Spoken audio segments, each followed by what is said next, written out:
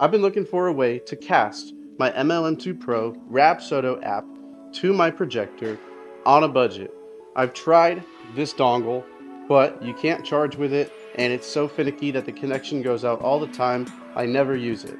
Finally, I found a software slash app combo that is entirely free. The only thing you need is your device that runs the Rapsodo app as well as a PC. And if you're like me and you have a PC in your simulator, you can actually get this to cast 100% for free. Let me show you exactly how to do that and then we'll test it out and look at some of the limitations and just how well it actually works. So this right here is the website and you will have to install this onto your PC as well as onto your mobile device. So for instance, my iPhone. So you'll need the Windows version and then they also have the link. So for me, I have an iOS device, but it also will work for Android. So this is a simple install. It took me less than a minute to get up and running with it. And then the app you're looking for is called AirDroid Cast. I'll leave a link to that as well, of course. And once you have the app installed on your device, you can pull it up on your PC and this is what it will look like. Bring it up on your phone at the exact same time. You can either enter this code right here, or there's an option to open up your camera, scan the code, and it's that easy select start broadcast. So the screen recording was screwing it up for me, but essentially you'll hit start broadcast, start broadcast, turn your attention over to your PC, and boom, it is up. Now if you have two displays like I do, a PC and a projector, you can hit Windows, Shift, and then the arrow key. For my example, I hit the left arrow key, and it shoots it straight over to my projector. And this is already working. It's already picking up my phone right here. So if I open up the Rapsodo app, we're in. There's a full screen button, and that's it.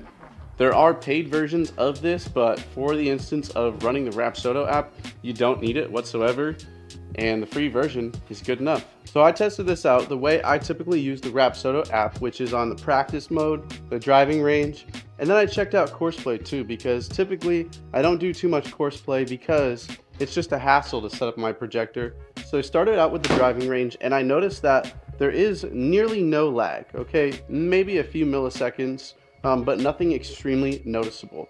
Now you will notice a little bit of graininess and maybe a slight FPS drop when compared to actually using the app itself and uh, you're to get that with pretty much any of these wireless displays. I tried the Amazon Fire Stick, paid 50 bucks for the 4K version, and it just ran too slow for me to be paying 50 bucks. So you'll notice a little bit of graininess. Maybe it's not quite as smooth, but it's definitely acceptable if you're looking for a free option.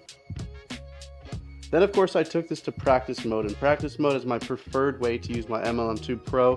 I love being able to look at those shot cameras, impact cameras, and just be able to see the numbers and so I'm not necessarily concerned with a ball flight, and that's where this app shines because you don't have to worry about any lagging or skipping.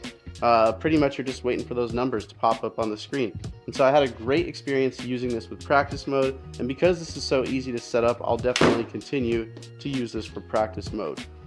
Especially because I can just quickly turn my head up, see my impact, and it's a little bit more natural to look forward uh, than actually picking your head up to look at the tripod in front of you. Next, I tried out Courseplay, and I was expecting to not enjoy it quite as much as I did the practice mode just because of that slight bit of lag and uh, maybe taken away from the graphics a little bit. But to my surprise, Actually, it improved the course play experience for me. Now, Rapsodo app is lacking an offset, which would be fantastic for me, but I am kind of getting used to it, especially because I play without an offset on the Square app. And so you can't argue with starting out on the first hole on Pebble Beach with a birdie, but I will say even for a free version, I will definitely continue to use this even for course play.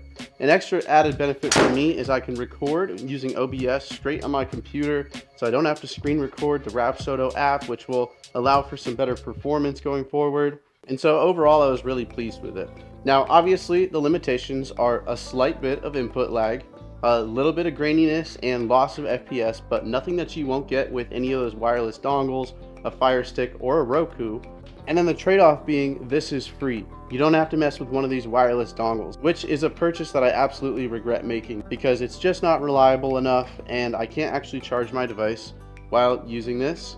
and I would love a wireless option. So let me know what you think of AirDroid Cast. I'll leave links in the descriptions and hopefully the tutorials were enough to help you get set up, but it's really straightforward. And I'm happy to have finally discovered a free option for casting the Rapsodo app to my projector. Let me know what you all think. And thank you for visiting Unreal Golf.